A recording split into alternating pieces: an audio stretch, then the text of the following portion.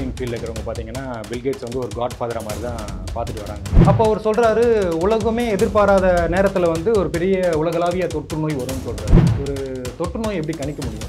இப்போ இன்னைக்கு யார் யாரெல்லாம் இந்த இப்போ இந்த கொரோனா கோவிட் நைன்டீன் சொல்கிற பேண்டமிக்கை வந்துட்டு டபிள்யூஹெச்ஓவில் ஒரு செயல் திட்டம் உருவாக்குறாங்களோ அதே குழு தான் அன்னைக்கு அக்டோபர் மாதம் ஒரு முன்னோட்ட நிகழ்ச்சி நடத்தியிருக்காங்க.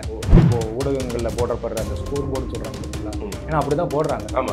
சராசரியாக இட்டாலியில் ஒரு ஒரு ஆண்டும் இறக்குறாங்க சொல்கிறாங்க பார்த்தீங்களா கிட்டத்தட்ட அது மேட்ச் ஆகிற மாதிரி தான் இன்றைக்கி வர தகவல்கள் சொல்கிறாங்க ஸோ இப்போ இந்த அறிகுறிகள் வந்து கோவிட் நைன்டீன்னால தான் வருதா? இல்லை வேறு ஏதாவது எக்ஸ்டர்னல் ஃபேக்டர்ஸ்னால வருதான்றதுக்கு வந்து இப்போ வரைக்கும் ஆதாரம் எதுவும் கிடையாது. யார் எந்த காரணத்தினால இறந்தாலும் கோவிட் நைன்டீன் சொல்லி ரெஜிஸ்டர் பண்ணுறதுக்கு எங்களுக்கு அழுத்தம் கொடுக்கப்படுதுன்னு சொல்கிறாங்க இப்போ மற்ற காரணத்தினால மக்கள் யாரும் வரக்கூடாதுன்னு மருத்துவமனைக்கு சொல்கிறதுனால தான் அதிகமான உயிரிழப்புகள் வருது. எதுக்கு இந்த நோய் கிருமிக்கு இத்தனை ஒரு முக்கியத்துவம் கொடுக்குறாங்க? ஏன் மக்களை பதட்டப்படுத்துறாங்க? நார்மலாகவே நம்ம அணுகி அணுகிருக்கலாமே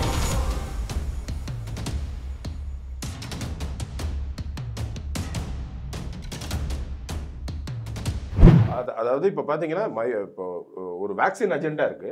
பில்கேட்ஸ் அவர் வந்து WHO கூட சேர்ந்து நடத்துகிற இந்த வேக்சின் அஜெண்டா அவர் அவர் எத்தனை வேக்சினேஷன் ப்ரோக்ராம் பண்ணியிருக்காருங்கிறது நம்ம பின்னாடி பார்ப்போம் ஒரு வேக்சின் அஜெண்டா அவர் வந்து நியூஸ் அதுக்கப்புறம் நியூஸ் சேனல்ஸு அதுக்கப்புறம் செய்திகளை செலக்டிவாக மட்டும் பப்ளிஷ் பண்ணுற யூடியூபு அதுக்கப்புறம் செய்திகள் நீங்கள் அதை பற்றி கொஞ்சம் அதிகமாக பேசிட்டீங்க கொஞ்சம் நோண்டி போ- ஒரு பதிவு போடுறீங்க அப்படின்னா அதை நீக்கிற முகநூல் இது எல்லாமே ஒரு மாதிரி கோஆர்டினேட்டடாக ஒர்க் பண்ணுற மாதிரியே ஒரு சந்தேகம் ஆமா வருது. ஏன்னா இப்போ நம்மளுடைய மார்க் சுகர்பர்கே இப்போ இந்த நம்மளுடைய வேக்சின் அலைன்னு சொல்லி பில்கேட்ஸ் ஒன்று உருவாக்கி இருக்கிறாரு ம். அதுல இவரும் நிதி ஒதுக்கியிருக்காரு. ஸோ அவர் என்ன சொல்றாருன்னா வேக்சினேஷனுக்கு எதிராக பேசுறவங்க யாரா இருந்தாலும் அவங்களுடைய பக்கத்தை நான் முடக்குவேன். அவங்க வந்து இதுக்கு அனுமதி கிடையாது.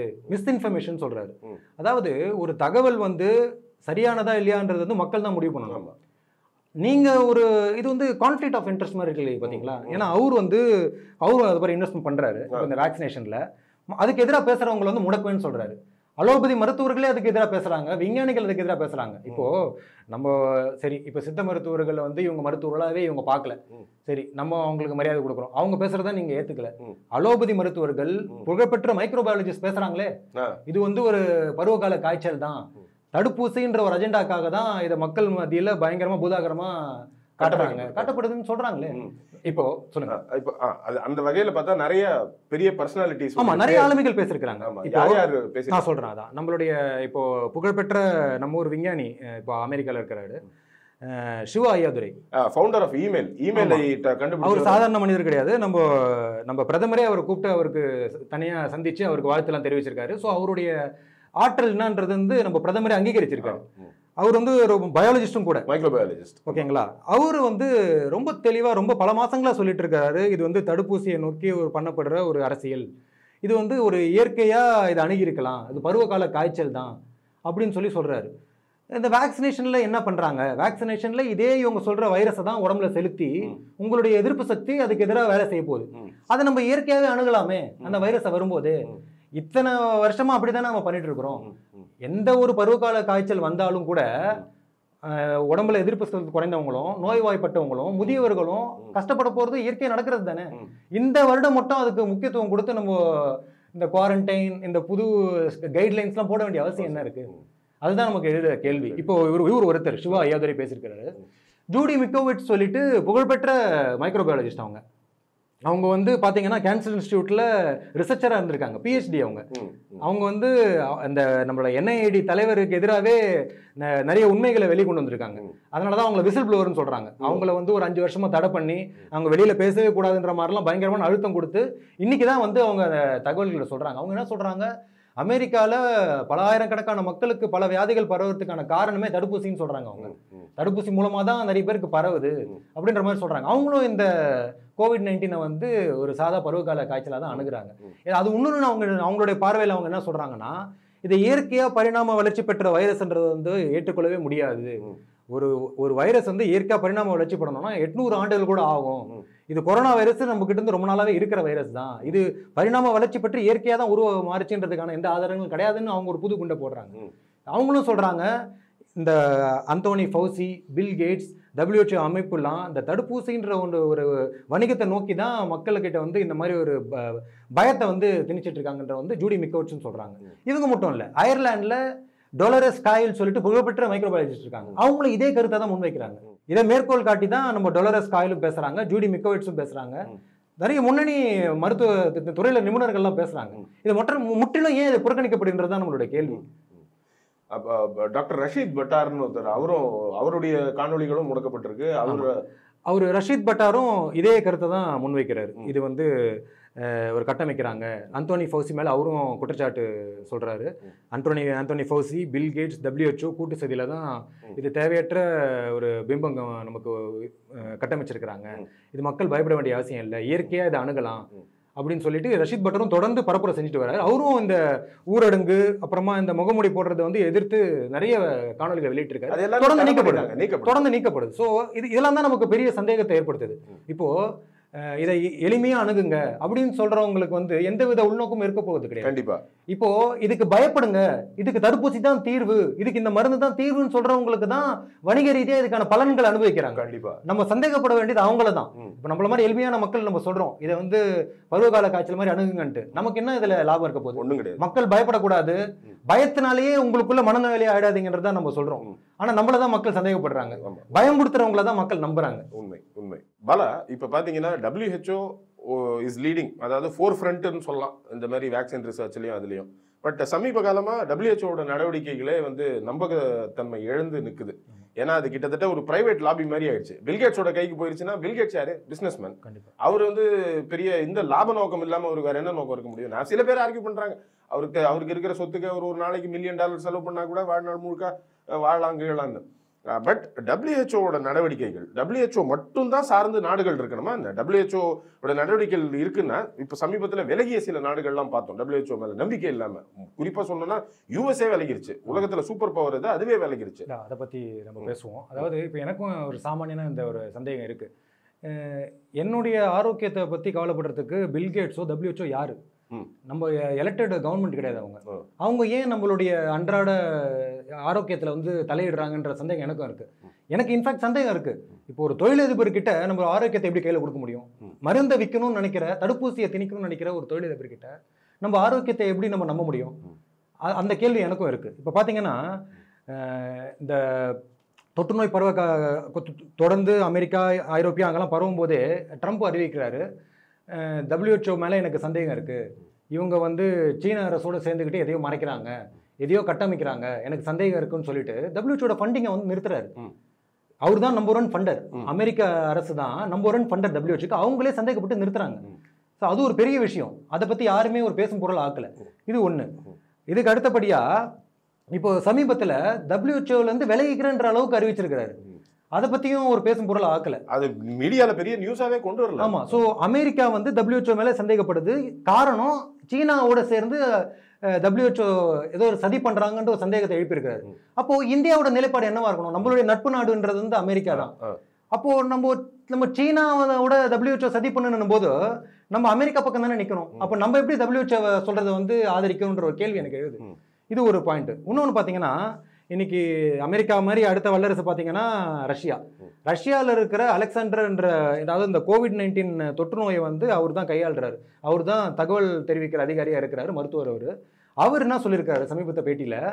இவங்க கட்டமைக்கிற மாதிரி இது வந்து ஒரு கொடிய நோயே கிடையாது. இது ஒரு சாதா பருவகால காய்ச்சல் தான். ஃப்ளூ தான் சொல்லி செய்திகளில் வந்திருக்குது. அலெக்சாண்டர்னு சொல்லி இதெல்லாம் எவிடன்ஸ் இருக்கு. போய் யார் வேணா போய் வெரிஃபை பண்ணிக்கலாம். இது ஒரு பாயிண்ட் இன்னொன்று நம்ம முக்கியமாக பார்க்க வேண்டியது வந்து நம்மளை பொறுத்த வரைக்கும் நமக்கு என்னென்னா இந்த வெள்ளைக்காரங்க சொல்கிறது தான் நமக்கு டெக்னாலஜி தொழில் தொழில்நுட்பம். மற்றபடி சின்ன சின்ன நாடுகள் சொல்கிறதெல்லாம் நம்ம வந்து பொருட்படுத்துறதே கிடையாது. அதுக்கு ஒரு உதாரணம் பார்த்தீங்கன்னா தான்சானியா அதிபர் ஜான் மகுபலி. அவர் என்ன சொல்லியிருக்காரு ஜனாதிபதி சாரி அவர் என்ன சொல்லியிருக்காரு அவர் என்ன பண்ணியிருக்காரு இந்த டபிள்யூஹெச்ஓ ஏன் இந்த மாதிரி சொல்கிறாங்க நம்ம ஊரில் எல்லாம் நல்லா தானே இருக்கிறாங்க? சந்தேகமாகவே இருக்கே. அவரே ஒரு முதுகலை பட்டம் பெற்றவர். வேதியில் அவர் வந்து சந்தேகப்பட்டு என்ன பண்ணியிருக்காரு ஒரு ஆட்டுலேருந்து கொஞ்சம் சாம்பிள் எடுத்துட்டு ஆடு அப்புறமா பப்பாயா பழங்கள்ல இருந்து சாம்பிள் எடுத்துட்டு ஆளுங்களோட பேர் சொல்லி அதை வந்து யாருக்குமே தெரியாம ஒருத்தர் மூலமா அனுப்பி பரிசோதனை பண்ண சொல்றாரு ஆடையும் ஒரு பழத்தையும் ஆட்டுல இருந்து சாம்பிள் எடுத்ததையும் ஒரு பழத்துல பப்பாயா பழத்துல இருந்து எடுத்த சாம்பிளையும் வச்சுக்கிட்டு ஆ. இந்த ஆர்டிபிசிஆர் கிட் நம்மளுடைய. WHO பரிந்துரை பண்ண கிட்டு வச்சு பண்ண பரிசோதனை பண்றாங்க. உலகம் முழுக்க.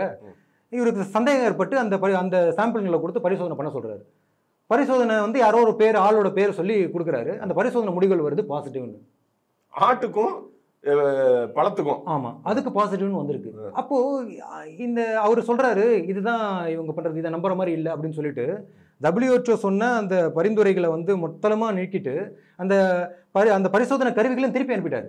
இப்போ தான்சானியால லாக்டவுனும் இல்ல கட்டாயம் அதாவது முகமூடி போடக்கூடாதுன்ற ரூலை கட்டாயமா போட்டிருக்காரு. அவர் என்ன சொல்றாரு? மக்களை தேவையில்லாம பயமுறுத்துறாங்க. இன்னி வரைக்கும் இந்த தொற்று நோய் தொடங்கி தான்சானியால உயிரிழப்பு இருபத்தொன்னு மட்டும்தான். எப்படி அது? இன்னைக்கு WHO வை வந்து கேலி பண்ணி அவங்கள அவங்களுடைய பரிசோதனை கருவியை மோசடின்னு சொல்லி ப்ரூவ் பண்ணி அவங்கள வழிமுறைகளை முற்றிலுமா வேணாம்னு சொல்லி புறக்கணித்தவங்களுடைய நாட்டில் வந்து உயிரிழப்பு இருபத்தொன்று மட்டும்தான். இது வந்து தான்சானியாவில் இப்போ மடகாஸ்கரில் பார்த்தீங்கன்னா மடகாஸ்கர் வந்து நம்மளுடைய தமிழர் நிலம்னு சொல்லிட்டு இப்போ பார்த்தீங்கன்னா குமரி கண்டத்தோட ஒரு எக்ஸ்டென்ஷன் தான் மடகாஸ்கர் நம்மளுடைய புரிதல்.